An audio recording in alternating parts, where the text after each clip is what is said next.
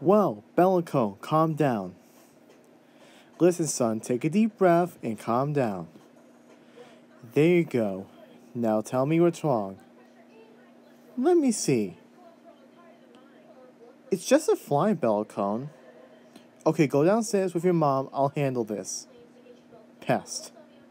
So, scared my son, hmm? Well, take this. Okay, son, it's dead.